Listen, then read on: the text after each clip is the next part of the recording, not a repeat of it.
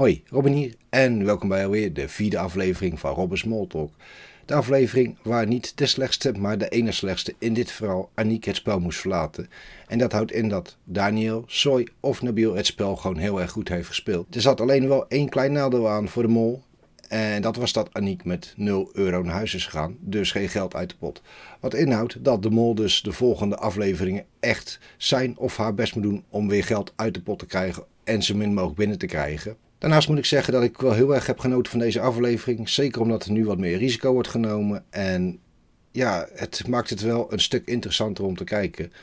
Maar goed, voordat we dat gaan bespreken, gaan we eerst door naar onze community. Inmiddels, uh, zoals jullie weten, laat ik een poll achter in de beschrijving. En ook uh, dat heb ik uh, voor deze aflevering weer gedaan. Voor deze keer is er 7 keer opgestemd. 3 keer voor Nabil en 1 keer voor Anke, Aniek, Daniel en Ranomi. En hier werden Soy en Jurre dus niet verdacht. Dankjewel voor het stemmen. En zoals ik net zei, er staat nu ook weer een nieuwe link in de beschrijving.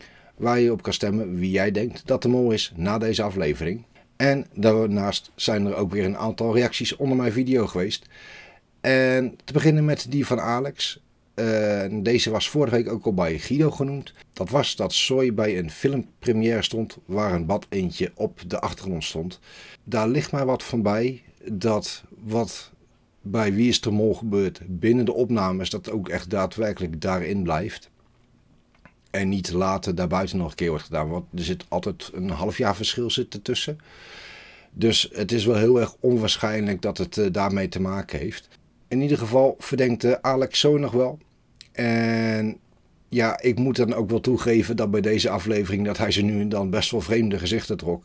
En dat is ook iets wat we later gaan bespreken. En dan uh, hebben we Amy, die ook reageerde op Alex uh, met betrekking tot het bad eentje. Zij gaf aan dat het ook Ranomi zou kunnen zijn. Ja, en na de aflevering van vandaag, daar maakte volgens mij Nabil een verwijzing naar Ranomi. Uh, die te maken heeft met dat bad eentje. En ook die, die clue van vandaag. Kijk, het is niet voor niks dat wij vandaag met een bad eend op pad zijn gegaan. Ja, Ranomi is natuurlijk uh, kampioen zwemmen. En ik moet eerlijk zeggen, nou ik dat zo heb gehoord, ja, dat het mij onwaarschijnlijk lijkt dat Ranomi nog te mol is. Maar goed, we gaan het meemaken. En last but not least hebben we Emilie. Ook uh, dankjewel weer voor jouw reactie. Daar gaf ze ook aan dat in de vorige aflevering dat Ranomi de groep naar andere attributen liet zoeken voor het maken van de foto's waarmee ze dus iedereen om de tuin kon leiden. Of in dit verhaal kon omleiden. Verder geeft ze ook aan dat ze praat als een autoritair persoon over Daniel. En er staat in de reactie staat iets anders. Dus daar kan je gewoon zo nalezen wanneer eh, je deze video even pauze hebt gezet. En daarna geeft ze ook nog aan dat het bad eentjesverhaal weer naar voren komt.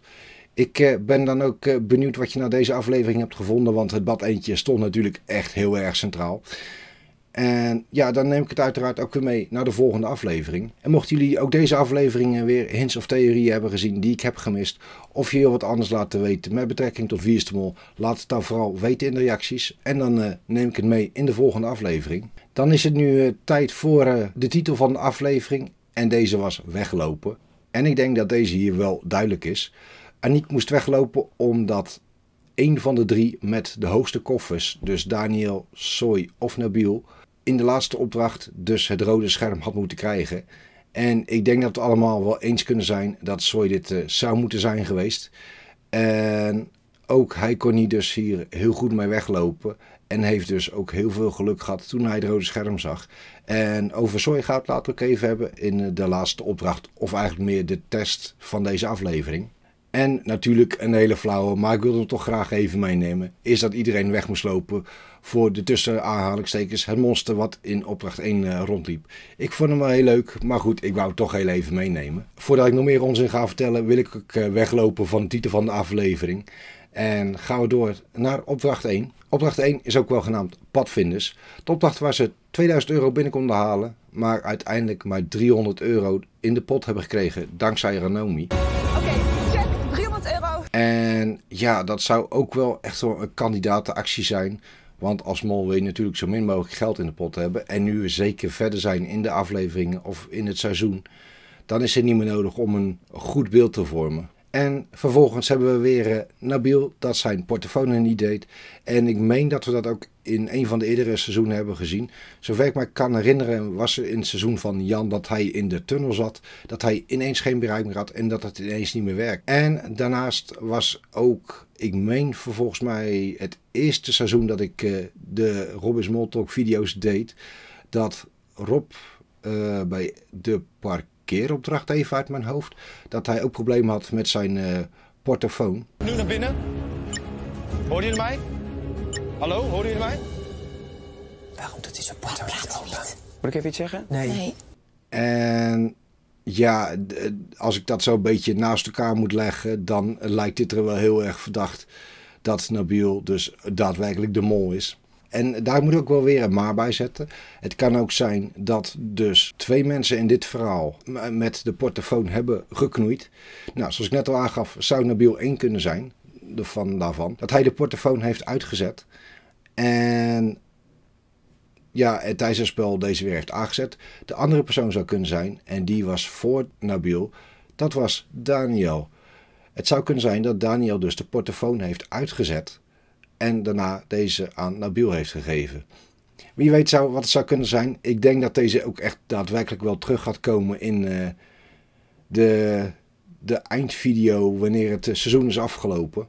En daarnaast is het ook nogal onbegrijpelijk dat Nabil het geld bij de ingang heeft neergelegd. Dus ik naar intree, het geld daar achtergelaten. En omdat ik niet af was, mocht ik wel terug naar de loods. Want daarmee, daarmee maak je het juist ook voor de anderen veel moeilijker, in dit geval Jurre, om daarmee het geld mee te nemen naar de uitgang.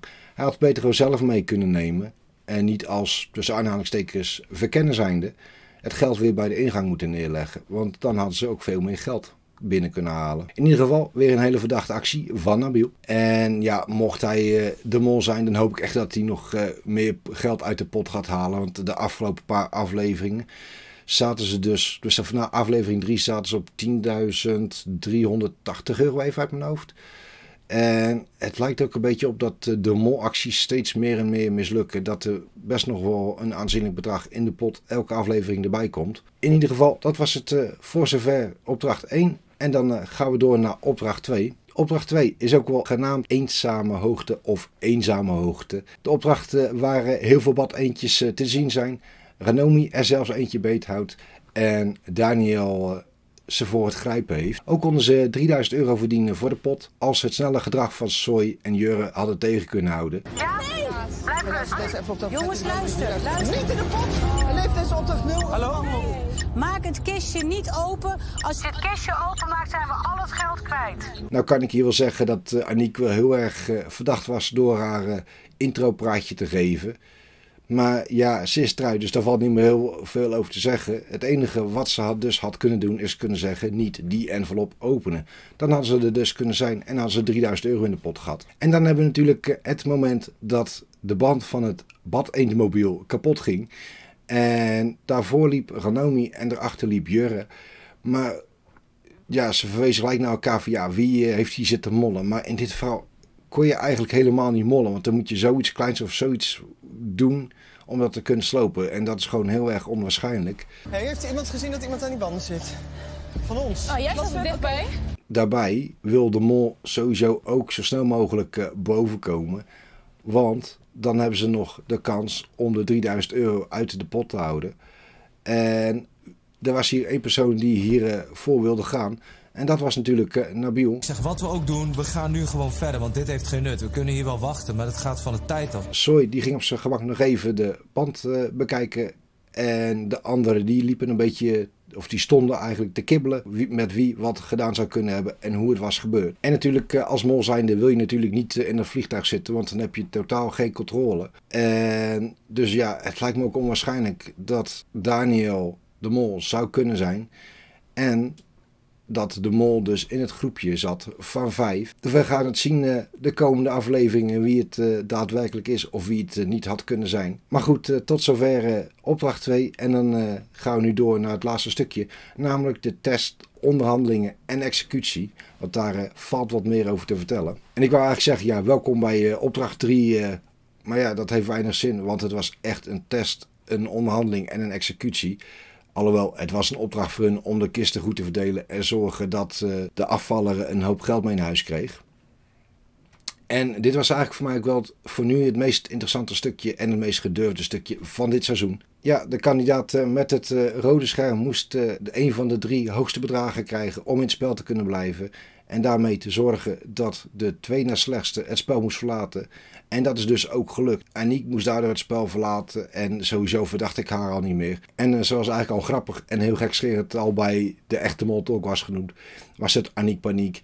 Maar in mijn oog was er veel te veel dingen aan het overanalyseren. Ja, en dan uiteindelijk dan uh, red je het gewoon niet. En ja, wie dan wel het rode scherm heeft gekregen. En ik heb uh, tijdens het maken van het script ook uh, behoorlijk lopen overanalyseren. En nog wat dingen opnieuw zitten kijken.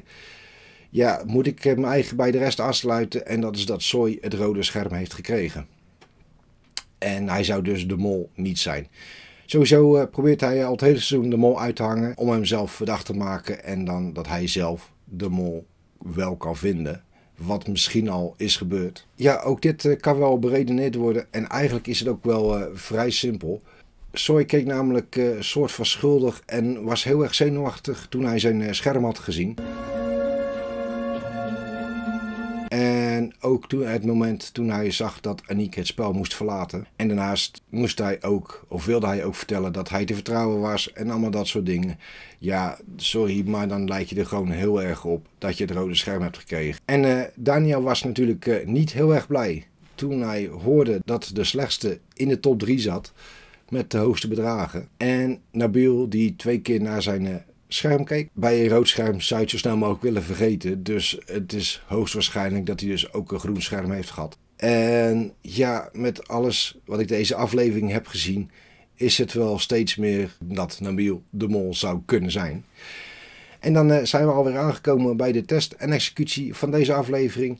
De aflevering uh, waar Aniek het spel moest verlaten voor waarschijnlijk Soy. En ook deze keer is er eigenlijk uh, niks veranderd uh, wie mijn uh, verdachten zijn. Ja, dat zijn nog steeds Nabil, Ranomi en Daniel. En ik denk ook dat Ranomi en Daniel niet direct de mol zouden kunnen zijn. Maar ik hou ze voor de zekerheid toch nog heel even op mijn lijstje. En we zijn nog niet eens halverwege het seizoen. Laat in ieder geval weten via de link in de beschrijving wie jullie denken dat de mol is. Of laat het weten in de reacties en dan neem ik het mee in de volgende aflevering. En dat is uh, waar ik het voor nu bij gelaten. Ik hoop jullie hebben genoten van deze aflevering. En als je dat hebt gedaan, laat dan een like achter en uh, vergeet niet te abonneren. En als je bent geabonneerd, vergeet niet het belletje aan te zetten, zodat je bericht binnenkrijgt wanneer ik een nieuwe video heb geüpload. En dan zeg ik voor nu uh, later.